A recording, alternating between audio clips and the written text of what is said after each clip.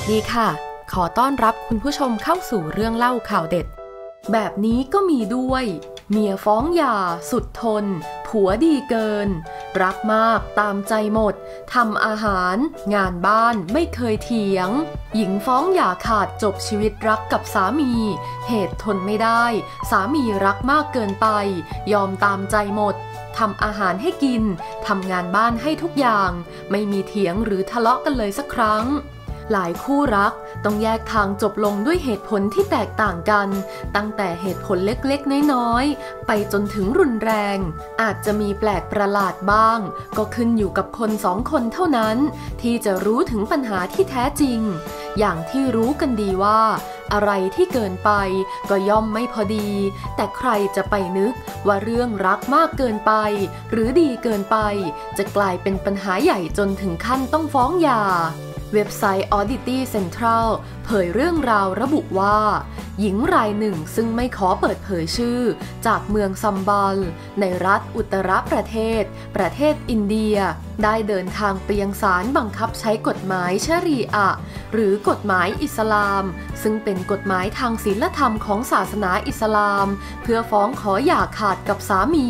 ภายหลังจากแต่งงานอยู่ด้วยกันมา 1 ปี 6 เดือน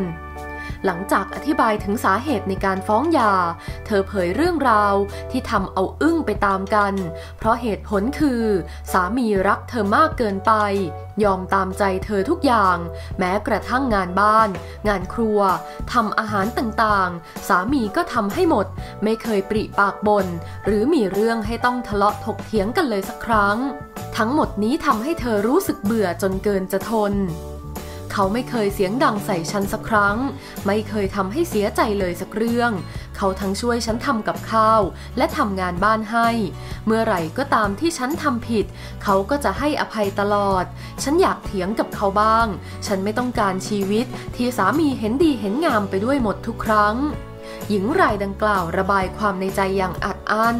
หลังจากได้ฟังเรื่องร้องทุกข์ของหญิงรายนี้ ทางเจ้าพนักงานได้ปฏิเสธคำร้องขอหย่าร้าง ระบุว่าเป็นปัญหาที่ไร้สาระ และขอให้ทั้งคู่ไปจัดการปรับจูนความแตกต่างนี้ด้วยตัวเองแต่เธอไม่ยอมแพ้เพียงเท่านั้น เธอได้มุ่งหน้าไปยังสภาท้องถิ่น เพื่อให้สมาชิกสภา ลงมติเห็นชอบคำร้องของเธอ แต่หลังจากที่ได้ฟังเหตุผล ต่างก็ปฏิเสธเช่นเดียวกัน สื่อท้องถิ่นเผยรายงานว่า สามีของหญิงรายดังกล่าว กล่าวว่าเขารู้สึกเสียใจมาก เขาไม่รู้ตัวเลยว่าเขาทำอะไรผิดไป สิ่งเดียวที่เขาตั้งใจ คือเป็นสามีที่สมบูรณ์แบบให้กับภรรยาทว่ามันกลับกลายเป็นความผิดพลาดมาโดยตลอด ขอขอบคุณข้อมูลดีๆ จากกระปุก .com อย่าลืมกดติดตามพร้อมทั้งกดรูปกระดิ่ง เพื่อแจ้งเตือนเรื่องใหม่ๆ จะได้ไม่พลาดรายการเรื่องเล่าข่าวเด็ด ขอบคุณที่รับชม แล้วเจอกันใหม่ค่ะ